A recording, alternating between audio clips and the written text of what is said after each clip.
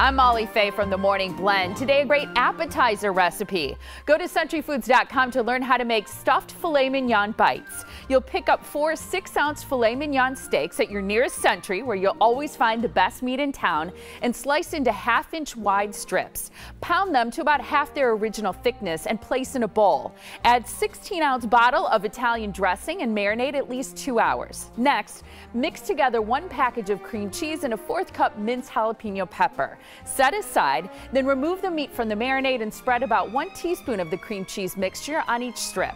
Fold the meat around the cream cheese to form a ball, then wrap with a slice of bacon and secure with water-soaked toothpicks or metal skewers. Cook on a preheated grill until the steak is no longer pink, about four minutes per side. Serve hot and enjoy. You can find this recipe in great deals online at SentryFoods.com. Be sure to look for the What's for Dinner link.